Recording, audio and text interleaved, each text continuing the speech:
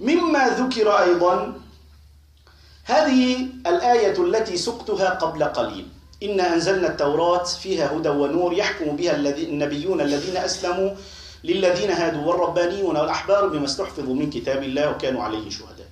وقلت سأذكر لكم قصة حان موعدها. ما القصة؟ ذكر عدد من أهل العلم من المفسرين أن هذه الآية والتي قبلها في سورة المائدة نزلت في قضية حدثت في العصر النبوي. وذلك أن جماعة من اليهود ترافعوا إلى رسول الله صلى الله عليه وسلم في شأن زنا رجل وامرأة. رفعوا القضية إليه. طبعا أن الآية نزلت بشأن هذه القصة التي أحكيها الآن فهذا رواية ذكرها بعض المفسرين. أما أن هذه القصة التي سأكملها ثابتة فهي ثابتة في الصحيحين. لكن هل نزلت الآية بسببها؟ أقول هذه رواية بعض المفسرين.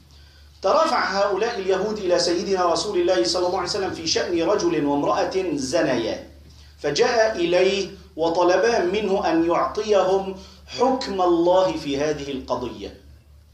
قال اليهود؟ نعم اليهود. يهود جاءوا ليش هم يؤمنون به؟ لا لا يؤمنون به. طيب لماذا جاءوا؟ كل هذه التساؤلات يعني تطرح تخطر في بال الإنسان. ما القضية؟ سنكمل مهلا. جاءوا إليه فرفعوا إليه هذا الأمر.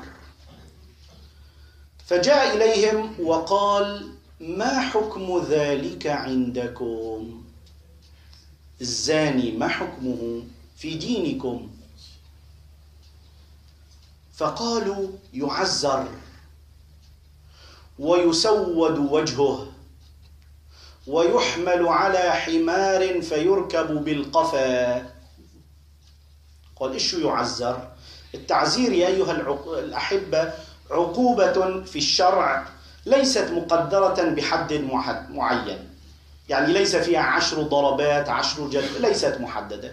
يأتي به من يدير أمور الناس فيقول مثلا قد يضربه ضربة واحدة.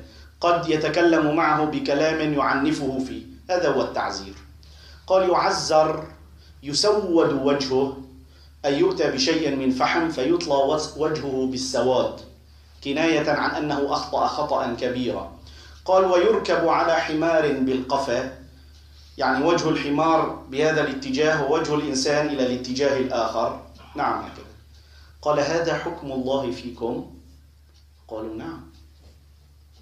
قال أنشدكم الله الذي أنزل التوراة على موسى. أهذا حكم الله فيكم؟ فسكتوا. إلا شابا منهم من أحبارهم. فقام فقال أما والله إن نشدتنا فإن حكم الله في التوراة على من زنى وكان محصنا الرجم وكان هؤلاء قد جاءوا بنسخة من التوراة معهم. فقال وطلب منهم رسول الله لما سألهم عن حكمها فقرأوا له شيئا من ما وجد عندهم من التوراة عن قضية الزنا وكانوا يضعون أيديهم على مكان كأنهم يخبؤون آية. فلما قام هذا الفتى الشاب وقال أما قد نشدتنا بالله فإن حكم الله الرجم ثم قال ارفعوا أيديكم فرفعوا أيديهم فقرأ الشاب وهذا الحكم في التوراة. هذا مما كان باقيا إلى الزمان النبوي إلى عصر رسول الله بأن حكم الزاني المحصن الرجم قال فأمر بهما رسول الله صلى الله عليه وسلم فرجما. الرجل والمرأة لماذا جاءوا الآن؟ لماذا لم يكتفوا بقضيتهم؟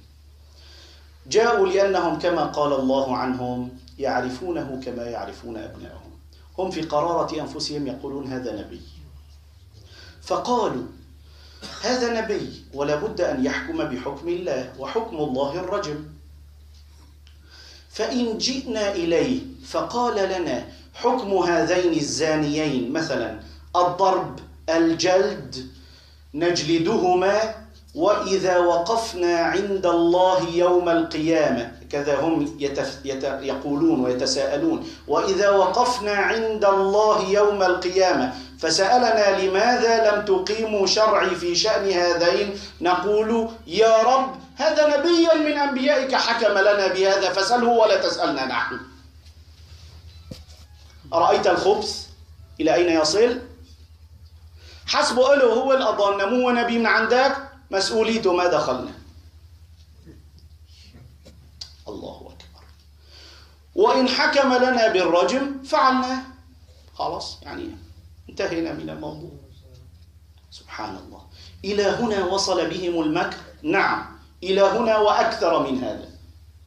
لذلك شأنهم عجيب. ولذلك قلت مرارا نمر على آي كثير من القرآن العظيم فنجد فيها أوصافهم وشؤونهم وما صنعوه وما قدموه. ما ذاك إلا لنحذر جميعا من أن نكون مثلهم حتى لا ينزل علينا غضب الله تعالى كما نزل عليهم.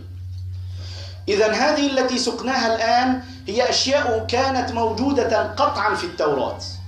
وكان موجودا في التوراة توحيد الله عز وجل قطعا والأركان الإيمان الستة, الستة التي ذكرناها تؤمن بالله وملائكته وكتبه ورسله واليوم الآخر القضاء والقدر كل ذلك كان مذكورا قطعا في التوراة. الآن هل التوراة التي بين أيدينا اليوم فيها هذه الأشياء التي ذكرناها الآن؟ فيها بعضها إلى الآن وبعضها قد زور ومسح.